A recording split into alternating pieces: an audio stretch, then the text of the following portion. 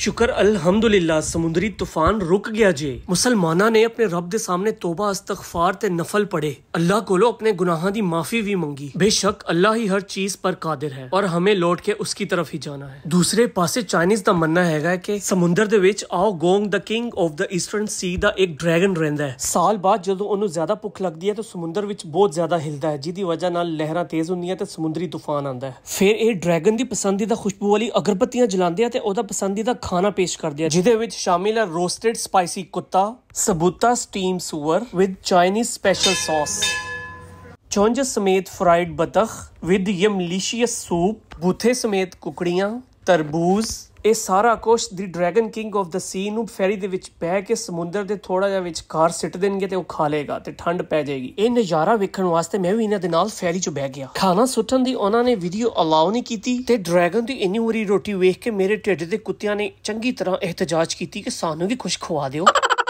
ਮੈਂ ਵੀ ਸਭ ਤੋਂ ਪਹਿਲੇ whole meal chicken sandwich order ਕੀਤਾ। ਜਹਾਜ਼ ਵਿੱਚ ਬਹੁਤ ਲਾਈਟ ਫੂਡ ਸੀਗੇ। ਅੱਜ ਮੈਂ ਡਾਈਟਿੰਗ ਤੇ ਨਹੀਂ ਹੈਗਾ ਕਿਉਂਕਿ ਮੈਂ ਮੌਤ ਨੂੰ ਬੜੇ ਨੇੜਿਓਂ ਵੇਖਿਆ ਸੀਗਾ। ਫਿਰ ਮੈਂ ਸੋਚਿਆ ਕਿ ਮੈਂ ਅੱਜ ਕੁਝ ਹੋਰ ਵੀ ਖਾਵਾਂਗਾ। ਫਿਰ ਇਹਨਾਂ ਵਿੱਚੋਂ ਮੈਂ ਹੋਰ ਇੱਕ ਲਾਈਟ ਜਿਹਾ ਖਾਣਾ ਡਿਸਾਈਡ ਕੀਤਾ ਇਹ ਚਿਕਨ ਸਟ੍ਰਿਪਸ ਸੋ ਗਾਇਸ ਸਾਨੂੰ ਜਿੱਥੇ ਵੀ ਗਰੀਬਾ ਵਰਗਾ ਖਾਣਾ ਲੱਭਦਾ ਅਸੀਂ ਲੱਭ ਲੈਂਦੇ ਆ ਮਹਿੰਗਾ ਖਾਣਾ ਨਹੀਂ ਖਾਂਦੇ।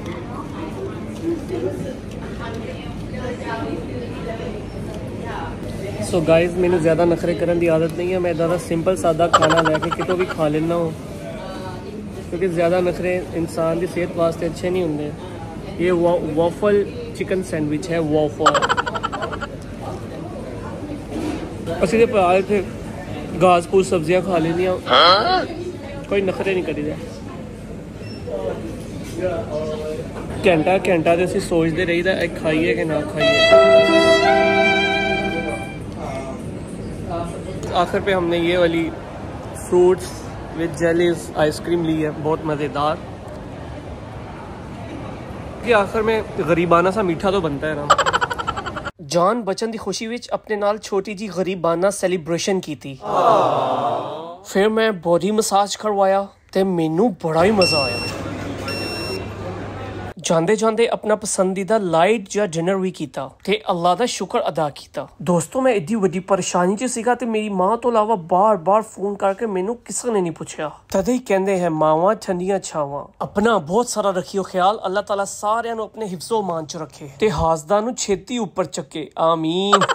ਚੰਗਾ ਫਿਰ ਰੱਬ ਰਾਖਾ।